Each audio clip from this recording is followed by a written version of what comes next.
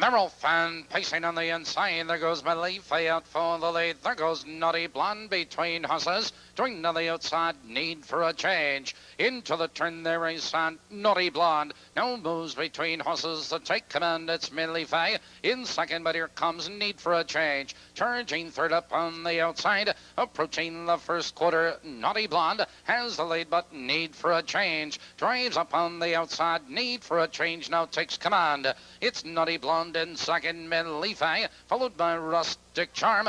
29 and 2 the first quarter. Need for a change has the lead of length. It's Naughty Blonde in second to length. Melife, followed in the turn by Rustic Charm. Here comes Lake Hills Gold, followed on the inside by Alla Burnsam. It's Shyla, and treading the field down to the half mile marker. It's Creed's Crude Oil. Approaching the half mile marker, and the entry is 1 2. On the inside, it's Need for a Change, but here comes Melife. Melife, and they're halfway home.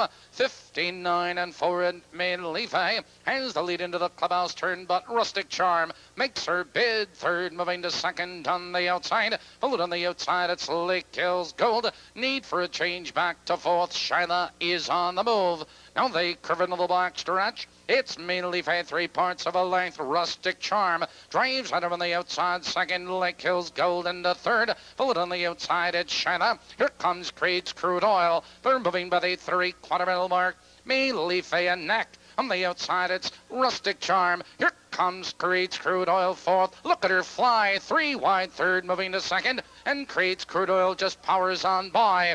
Here they come, turning for home. And Creed's Crude Oil is under the whip now by three lengths. Here comes Alla Burnsam on the far outside. Randy Jacobs coming to the whip. It's Creed's Crude Oil with the lead and Alla Burnsam. It's Creed's Crude Oil at the wire. Alla Burnsam. Shyla is third.